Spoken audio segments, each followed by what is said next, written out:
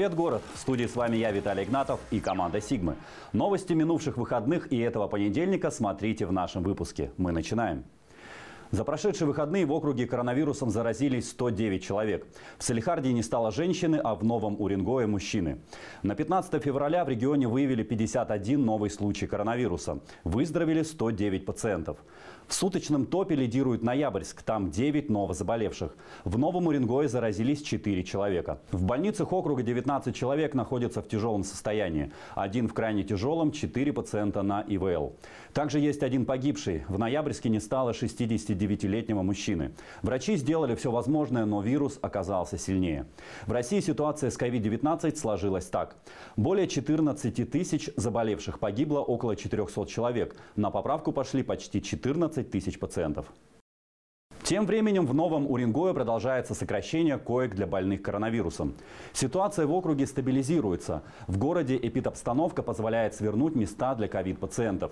Так, на минувшей неделе в городской больнице закрыли 10 коек. Сегодня из 150 мест занято 121.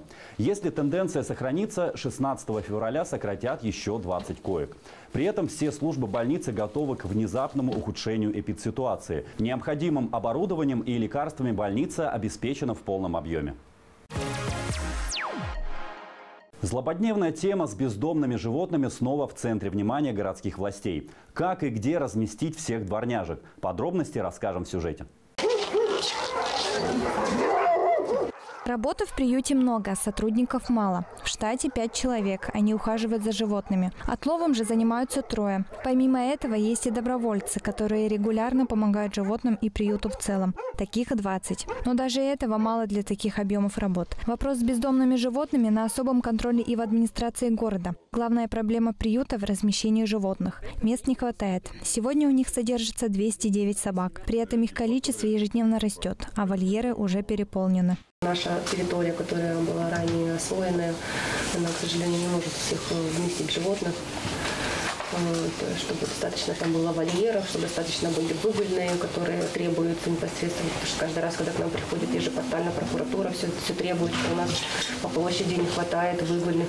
Уже летом в Новом Уренгое на западной промзоне начнут строительство нового современного приюта для животных. В нем появятся специальные боксы, ветеринарный пункт и площадки для выгула. Такое пристанище рассчитано на 300 собак и 300 кошек. Проект уже готов и определен участок площадью более 140 соток. Дело осталось за малым – подготовить документы для общественных обсуждений. А до этого времени животные должны как-то жить и чем-то питаться. Мы забираем, что можем своими силами, что на территории города, что доступно. Кто-то там в личном транспорте привозит. Но, опять же, мы не хотим подводить ни организации, ни людей, чтобы эти отходы скапливались, и мы откладывали забор на потом.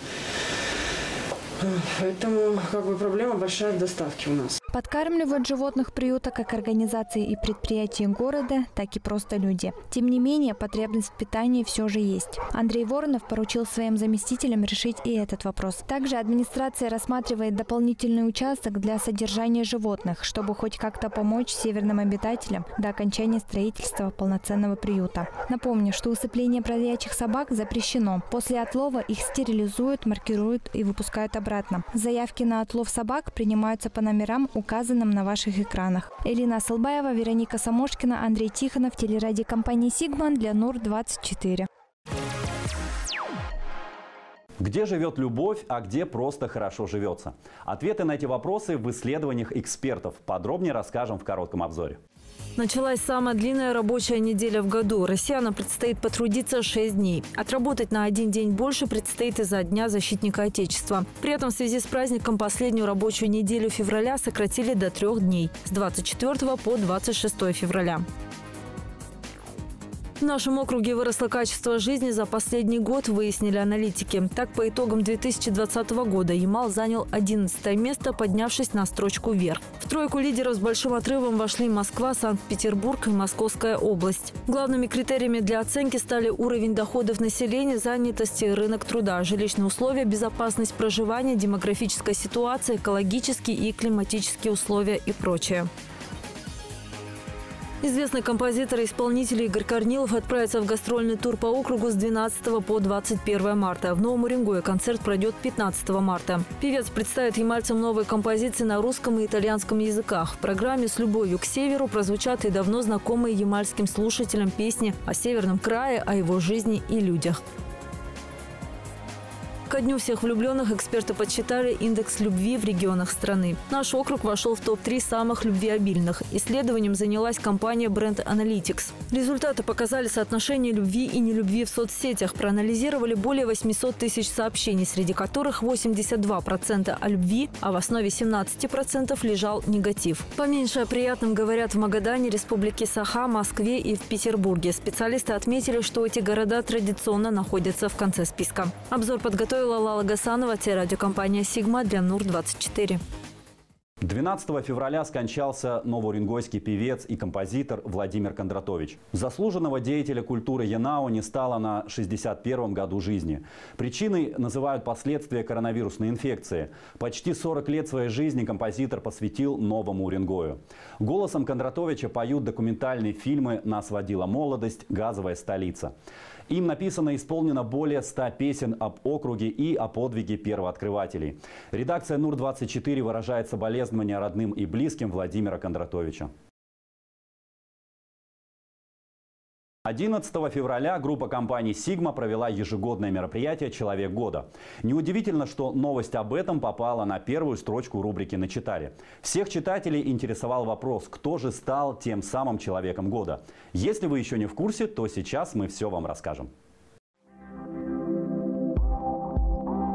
11 февраля в городском дворце культуры «Октябрь» прошло торжественное награждение всех, кто в этом году в первую очередь отличился своим героизмом. За свой непосильный добросовестный труд награды получили врачи, волонтеры и те, кто, невзирая на последствия, проявил отвагу. Человеком года стал полицейский Муслим Атаев, спасший двух детей из пожара. Полный список номинантов смотрите на НУР-24.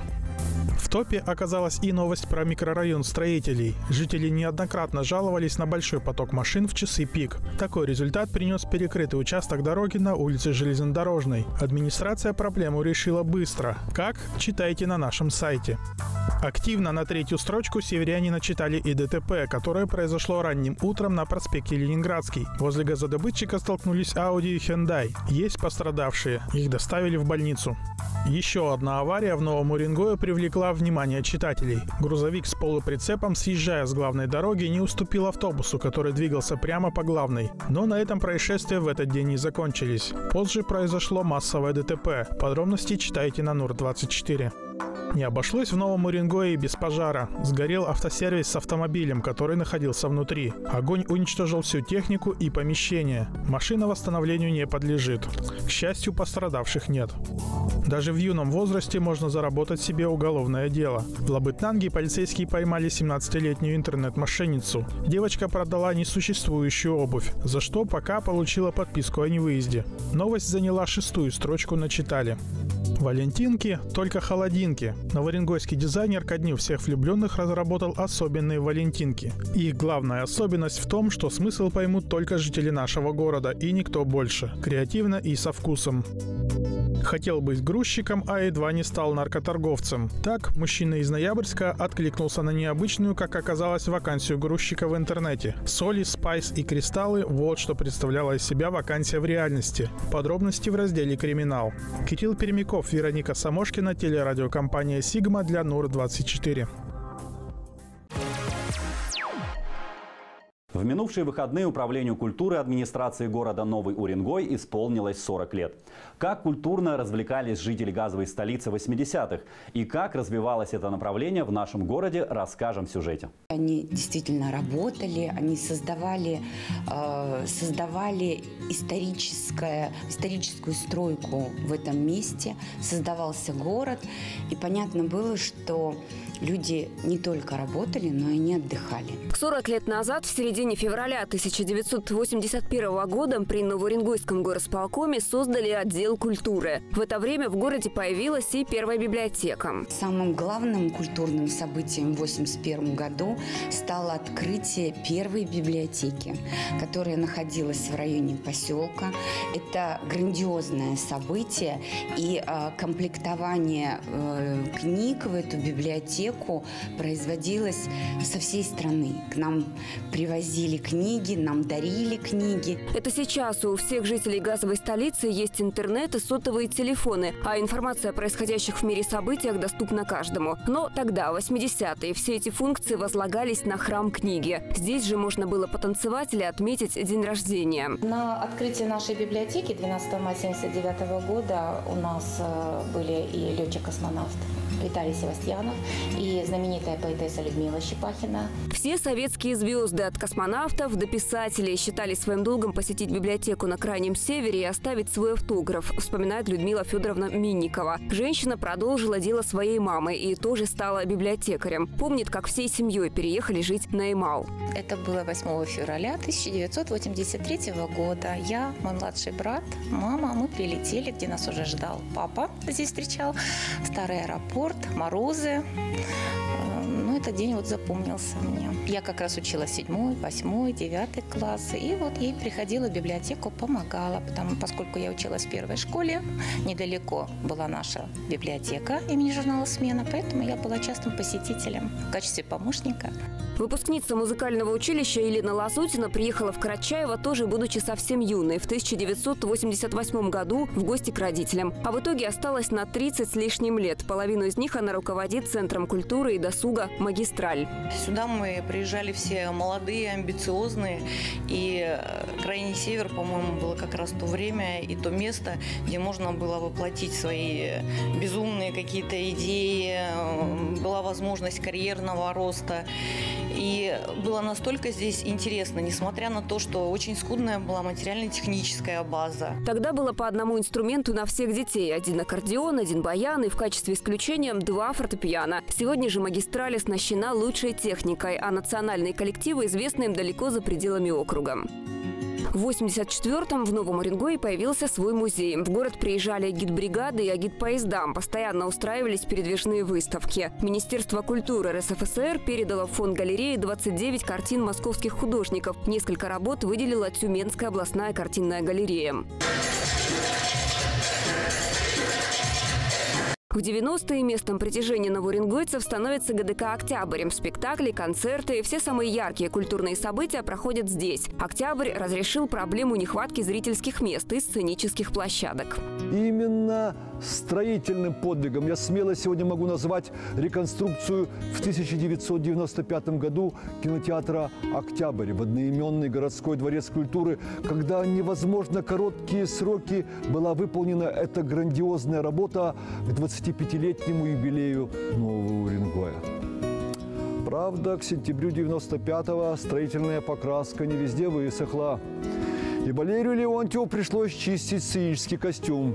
И запах от подкраски еще долго не выветривался. Но все это было мелким. По сравнению с восторгом новоуренгойцев почувствуешь себя столичными зрителями. Надежда Бабкина, София Ротару, все, кто э, на то время были на плаву, э, это для них даже считалось своего рода э, как делом чести. Мне даже трудно сказать, кого я не видела.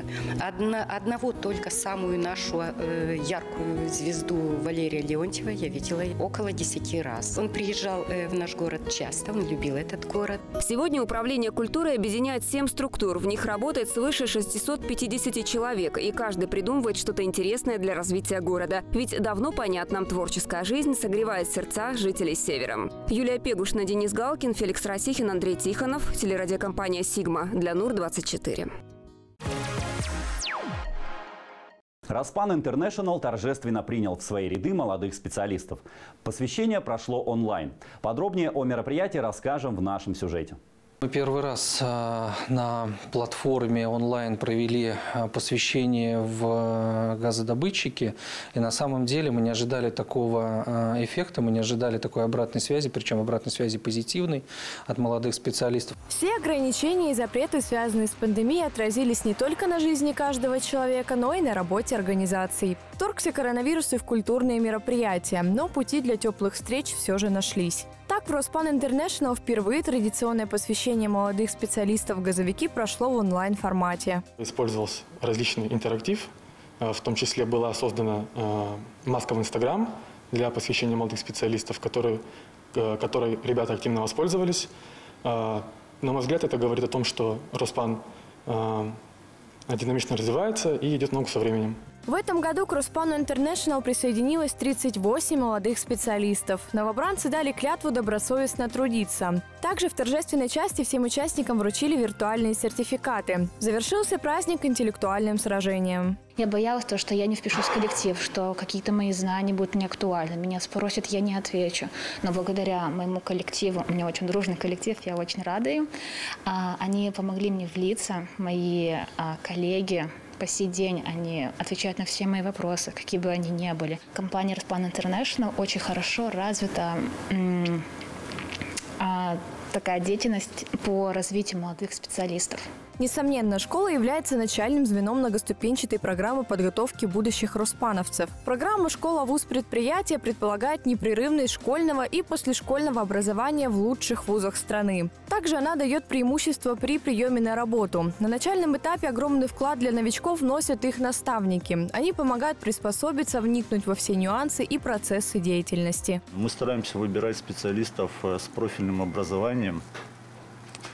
Естественно, э, есть процесс обучения, помимо программы там, молодых специалистов, у нас есть специальные курсы, э, компания их оплачивает и повышаем профессионализм сотрудников. В первую очередь оцениваем базовые компетенции, которые им э, в процессе учебы эм, дал, э, дала вот эта наша программа «Школа, вуз, предприятия», когда мы готовили 10-11 класс в Роснефть классах, и базовые знания, теоретические знания, которые им дал институт. Вот с уверенностью можно сказать, что сегодня они в любом случае не отстают от молодых специалистов, которые уже являются э, участниками программы. В Новом Уренгое профильный Роснефть класс базируется в третьей школе. Именно оттуда выпускаются будущие газовики. Вероника Самошкина, Андрей Тихонов, телерадиокомпания «Сигма» для НУР-24. А сейчас наш информационный блок продолжит программа «Патруль». Слово Гумару Халдарову. Я же с вами прощаюсь. До встречи в эфире.